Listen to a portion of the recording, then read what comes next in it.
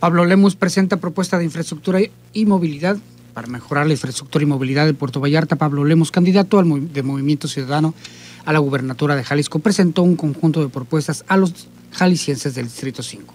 Durante esta reunión aseguró que su compromiso será con la modernización del transporte público y renovará las unidades para apoyar a los vallartenses. Cito, hay algo que es muy importante la movilidad de las personas, sobre todo los que menos tienen. Por eso el transporte público en Puerto Vallarta se va a mejorar con más unidades nuevas, eléctricas, bonitas, con aire acondicionado que muevan a los ciudadanos de Puerto Vallarta, señaló Lemos.